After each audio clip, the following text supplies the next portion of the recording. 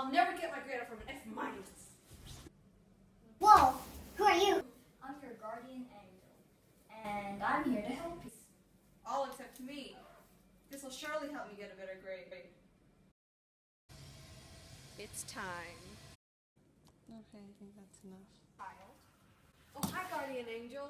It worked.